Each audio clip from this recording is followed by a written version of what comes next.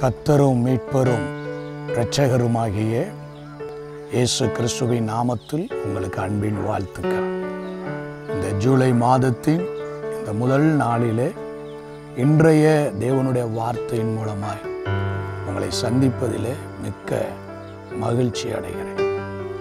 கத்தர் பெரியவரும் துதிக்கப்படத்தக்கவரும் ஸ்தோத்தரிக்கப்படத்தக்கவரும் எல்லா தேவர்களிலும் பெரியவராக இருக்கிறார் பெரியவராயிருக்கிற தேவனாகிய கர்த்தர் இந்த ஜூலை மாதத்தில் உங்களோடு இருந்து உங்கள் காரியங்களோடு இருந்து நீங்கள் செய்கிற எல்லாவற்றிலும் அவர் உங்களோடு கூட இருந்து.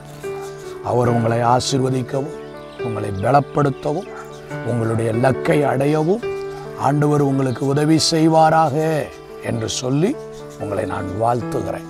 இந்த ஜூலை மாதத்திலும் ஆண்டருடைய முகத்தை நோக்கி பார்த்த பொழுது ஆண்டவர் ஒரு ஆசீர்வாதமான வார்த்தையை தந்திருக்கிறார்.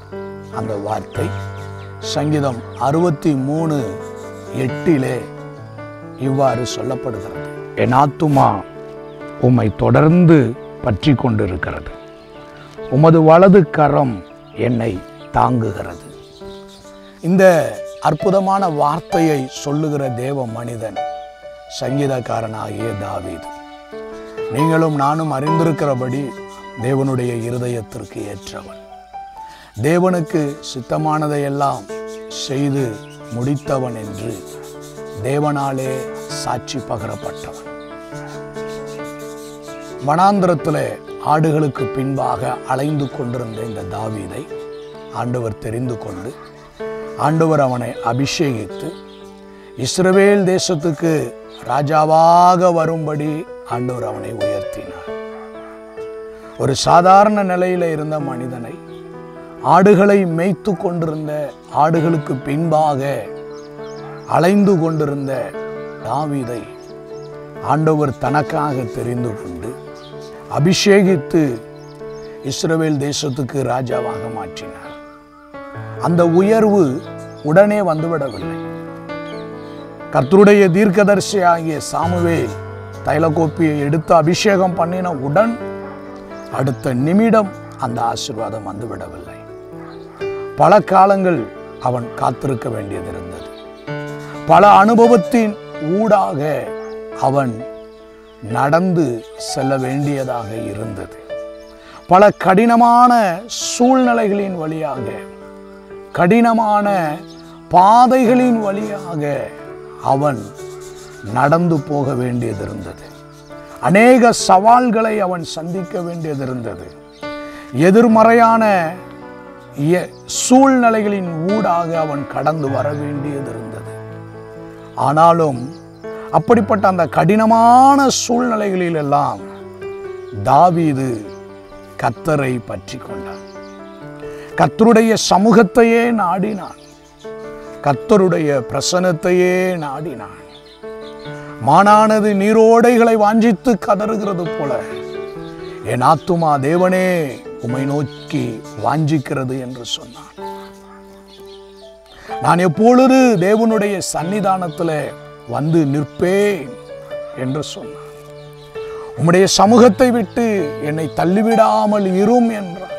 கர்த்தரால் உயர்த்தப்படவும் கர்த்தரால் ஆசிர்வதிக்கப்படவும் கர்த்தரால் கனத்துக்குரிய பாத்திரமாய் அவன் மாறினதற்கான ஒரு ரகசியம்தான் சங்கீதம் அறுபத்தி மூணு எட்டு.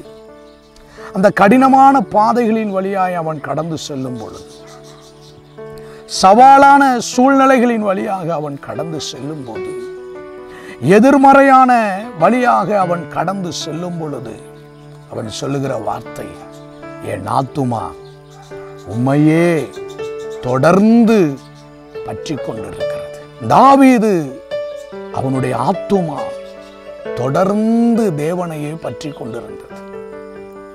இன்பத்தில் மாத்திரம் அல்ல உயர்வு வந்தபோது மாத்திரம் அல்ல செழிப்பான நன்மைகள் தன்னுடைய வாழ்க்கையில கிடைத்த போது மாத்திரம் அல்ல கடினமான பாதைகளின் ஊடாக அவன் நடத்தப்படும் பொழுது கடினமான சூழ்நிலைகள் அவனுடைய வாழ்க்கையில அவனுக்கு மகா பெரிய சவாலாக நின்று கொண்டிருந்த பொழுது தாவிதனுடைய ஆத்துமா கத்தரையே தொடர்ந்து பற்றி கொண்டது. அவனுடைய வாழ்க்கையில் வந்த ஒவ்வொரு நெருக்கத்திலும் அவன் கத்தரையே பற்றி கொண்டான். நீங்களும் கூட இந்த நாட்களில் கடினமான பாதைகளின் வழியாய் நடக்கலாம். கரடு முரடான பாதைகளைப் போல நடக்கலாம். சொல்லிக் கொள்ளுகிற அளவுக்கு சாட்சி சொல்லுகிற அளவுக்கு தேவனை மகிமைப்படுத்துகிற அளவுக்கு தேவனுடைய நாமத்தை உயர்த்துகிற அளவுக்கு இந்த வருடத்தில் கடந்து போன நாட்களிலே எந்த ஒரு ஆசீர்வாதத்தையும் எந்த ஒரு அற்புதத்தையும் உங்களுடைய வாழ்க்கையில் நீங்கள் காணாமல் அனுபவிக்காமல் கண்ணீரின் பள்ளத்தாக்கே உங்களுடைய வாழ்க்கையாக இருக்கலாம். கண்ணீரே உங்களுடைய உணவாக இருக்கலாம். எல்லாராலும் மறக்கப்பட்டவர்களாக இருக்கலாம். உடைந்த பாத்திரத்தை போல நீங்கள் இருக்கலாம். ஆனால் நீங்கள் இன்றைக்கு செய்ய வேண்டியது உங்களுடைய ஆத்துமா தொடர்ந்து தேவனை பற்றி கொள்ளட்டும் நீங்கள் தேவனை பற்றி கொள்ளும் பொழுது என்ன நடக்கிறது? ஆண்டுடைய வார்த்தை சொல்லுகிறது உமது வலது கரம் என்னை தாங்கினது என்று. கடினமான சூழ்நிலைகளின் நடுவில் நீங்கள் நடந்து செல்லும் பொழுது உங்களுடைய ஆத்துமா தேவனை தொடர்ந்து பற்றி கொள்ளுமானால் கத்தருடைய வலது கரம் உங்களை தாங்கும். எந்த மனிதர்களும் உங்களை தாங்க வேண்டிய அவசியம் இல்லை எந்த மனிதர்களும் உங்களை வந்து தாங்கி பிடிப்பதினால் உங்களுடைய வாழ்க்கையில அசாத்தியமான காரியங்கள் ஒன்றும் நடக்கப் போவதில்லை. ஆனால் கத்தருடைய கரம் உங்களை தாங்கும் பொழுது உங்கள் வாழ்க்கையில் மிக பெரிய காரியங்களை நீங்கள் பார்க்க முடியும்.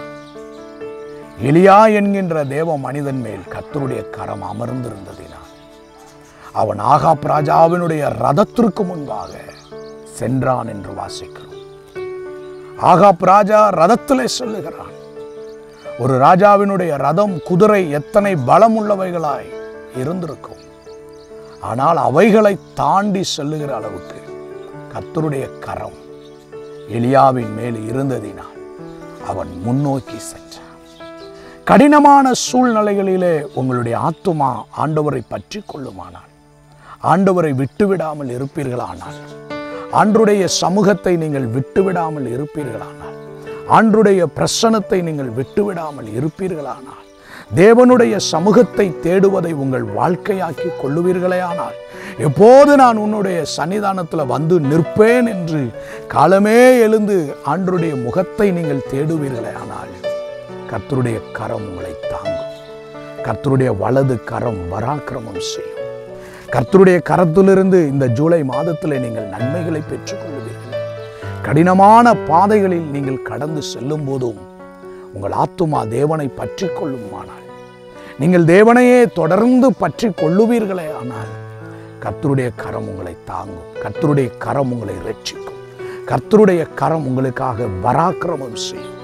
கர்த்தருடைய கரத்திலிருந்து வருகிற நன்மையினாலே நீங்கள் நிரப்பப்படுவீர்கள்.